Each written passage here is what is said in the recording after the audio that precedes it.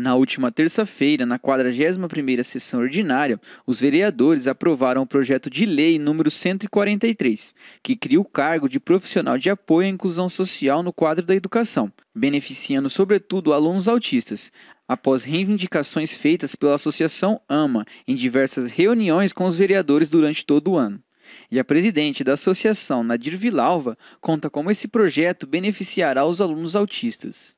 Bom dia a todos, obrigada pela oportunidade. Então, essa, essa lei ela veio beneficiar, porque o, o, o estagiário ele tem muita rotatividade e o autista não pode ter isso, ele não pode ter, é, não pode ser imprevisível o dia dele é, ele tem que saber tudo que vai acontecer para não gerar ansiedade, não gerar crise, entendeu? Então a gente precisa que tenha realmente uma estabilidade para ele. Então a contratação de professores vem trazer, vem trazer isso. Você pode começar com uma criança desde a, da sexta série até o nono ano mesmo professor. Então assim cria um vínculo do aluno com ele, uma confiança. Então, consegue fazer com que esse aluno fique dentro de uma sala de aula, com que ele acompanhe a escola. Esse professor vai estar presente quando ele estiver fazendo uma aula de educação física, até para instruir o próprio professor, porque ele já vai conhecer esse aluno. É muito importante. Assim, nós não fomos assim. É, perguntados assim sobre isso a AMA, né? Mas a gente é, agradece esse primeiro passo que está sendo dado assim, que é muito importante. E como você espera que eh, qual é o impacto que você espera com a implementação, né, dessa dessa nova lei, além, né, de agora eles terem uma rotina com a mesma pessoa, para vocês pais também? Então, eu espero que a prefeitura contrate pessoas que já tenham experiência com o autismo, porque assim, o curso de pedagogia só não basta, né?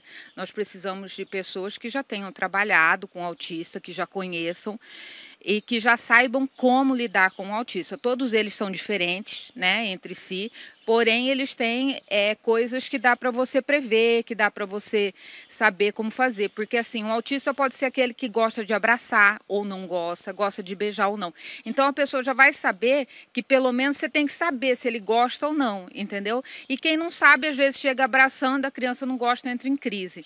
Então eu acredito que se for feita uma boa seleção com pessoas que já entendem entendam do autismo, será muito importante. Vai haver treinamento, sim, mas um treinamento é uma coisa é, não tão assim, não, não dá para você saber lidar com o autista apenas com treinamento. A experiência, como tudo na vida, é bem melhor.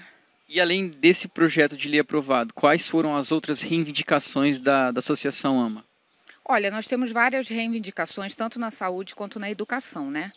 Na educação, a gente pediu também uma cartilha, de, não é para a educação, sim para a prefeitura, mas vai ser, parece que, construído pela educação, uma cartilha de o que você fazer quando você recebe o diagnóstico do seu filho, aonde você ir, qual tipo de, de ajuda você pode ter, qual o médico que você tem que procurar, quais os tipos de terapia que essa criança tem que ter. Então, essa foi uma, uma, uma reivindicação muito importante. Na questão da saúde, a, a gente precisa muito de uma clínica especializada em autismo. A gente precisa, não é porque quer, é porque não, é porque é preciso realmente você ter um lugar em que você tenha especialistas que saibam realmente o que é o autismo. O projeto de lei prevê a criação de 100 vagas que devem ser preenchidas através de processo seletivo, sendo aberto ainda esse mês. O vereador Tonhão informou que ocorrerá uma capacitação dos selecionados no mês de janeiro, para que a atuação dos profissionais de apoio se inicie já no próximo ano letivo. Nós temos agora é, essa criação desses cargos, são 100 vagas é, profissional de apoio à inclusão escolar. Então, o salário é de R$ 4.420, fora alguns outros benefícios.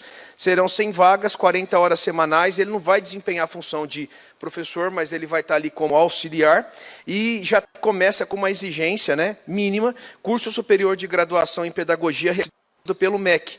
Agora, no final do, do mês, nos próximos dias, a gente vai estar é, divulgando a um edital para um processo seletivo. No mês de janeiro, a prefeitura, antes de iniciar o ano letivo, a prefeitura vai fazer um, uma capacitação, até porque dentro do próprio corpo técnico da Secretaria de Educação, nós temos lá uma professora doutora em educação inclusiva e vai qualificar esses profissionais.